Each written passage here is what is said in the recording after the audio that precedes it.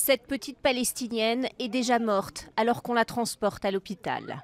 Victime d'une bombe israélienne tombée sur sa maison la nuit dernière. L'enfant a été tué avec sa mère, enceinte, selon les témoins sur place. Ce garçon de 5 ans a lui été blessé dans le bombardement. Un raid qui visait une cache d'armes du Hamas en représailles à des tirs de roquettes lancés sur Israël.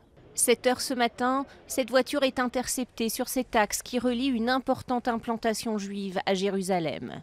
Une femme sort du véhicule sur ordre d'un policier. La voiture explose. Elle s'apprêtait à commettre un attentat dans la ville de Jérusalem. Cette femme terroriste a été grièvement blessée et transportée à l'hôpital. L'officier de police a lui été légèrement touché et soigné sur place.